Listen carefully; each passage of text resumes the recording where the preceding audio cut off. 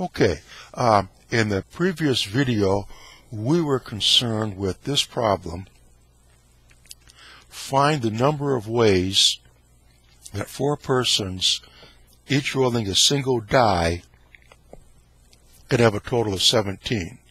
And after some manipulations, we determined that to solve that problem, what we need to do is, in this expression here, determine what the coefficient is of x to the 13th.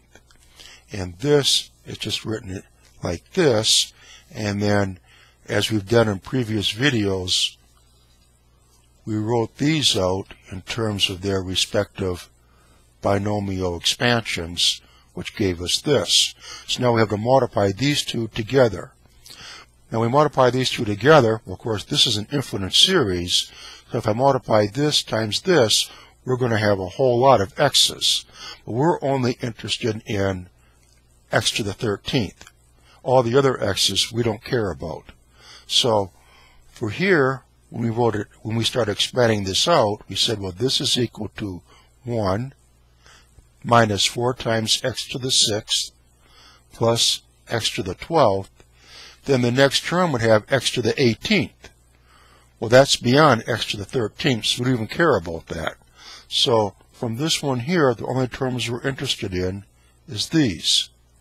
Then we're multiplying it by this infinite series. But we're only interested now in situations where an x from here times an x from there, where their exponents add up to 13. So, for example, 1 times x to the 13th will be x to the 13th.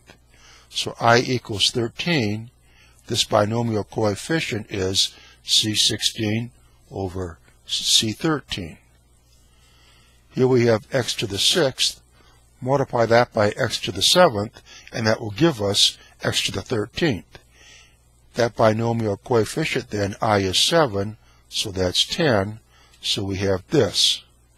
And then finally, this, x to the 12th, if I just multiply that by x to the 1st, that gives us x to the 13th. So here then, i equals 1, that's just going to be a binomial coefficient of 4 over 1. And of course this is just 4. So let's write that in.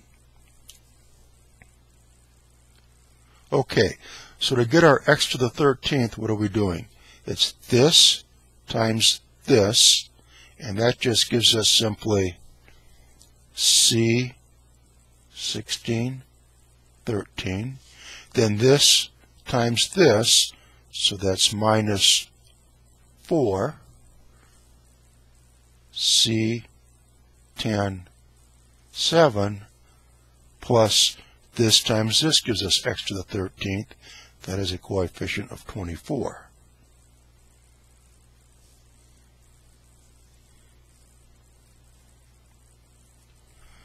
So here then, doing these manipulations will finally give us our coefficient of x to the 13th. So let's just make some room. And hopefully, in no time flat, we'll have our answer.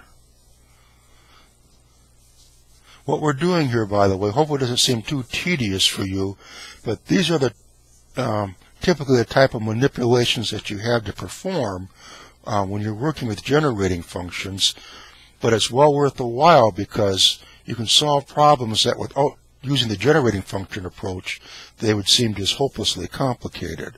Okay, we have this C1613 minus 4 C107 plus 24.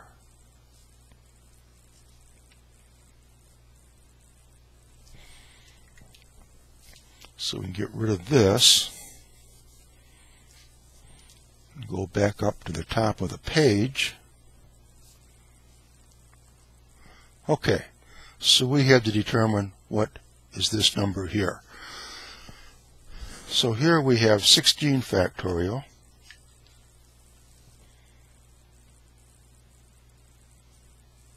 divided by 13 factorial. We'll try to write it bigger.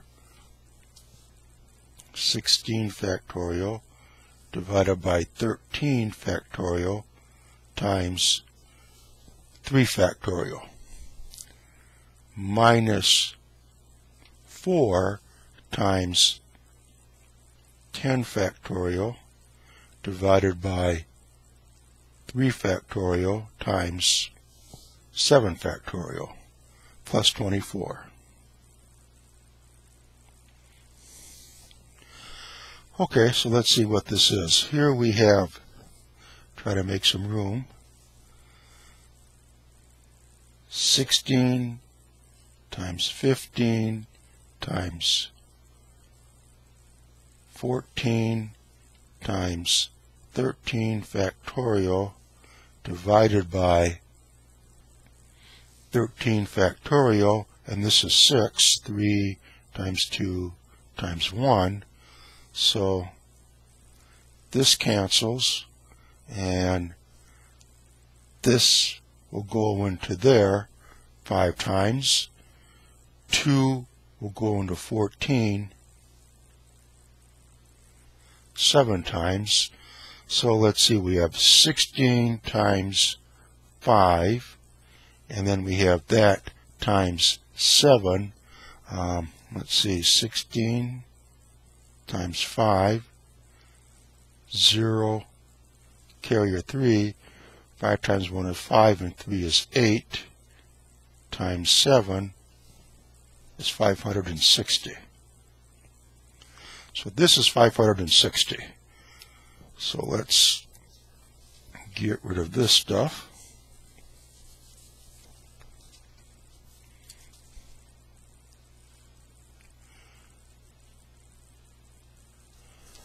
That's 560. And what do we have from here? We have 10 times 9 times 8 times 7 factorial divided by 7 factorial times 3 times 2 times 1. Those cancel. That goes into there three times, and this goes into there four times. So we have 4 times 3 is 12, times 120, minus, that's 4, that's minus 480.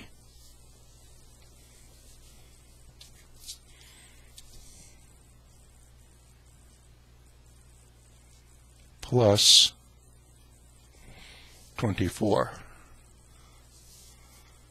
So let's see what we have. We have 584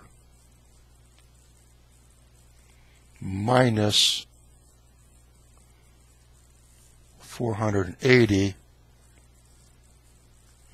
that is 104.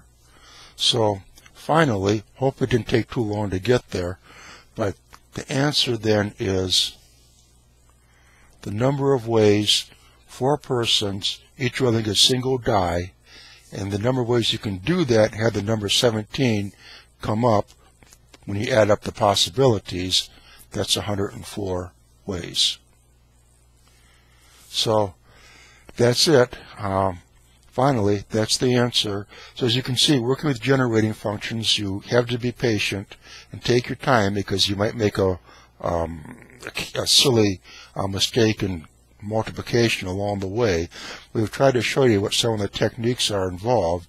And finally, there's our answer. You have four people, each throwing a single die. Look what the numbers are, add them up, how many different ways can you have it and have the numbers add up to 17? And that answer is 104. Okay, that's it for this video. Uh, come back, join us for the next video, and we'll try and solve some more problems.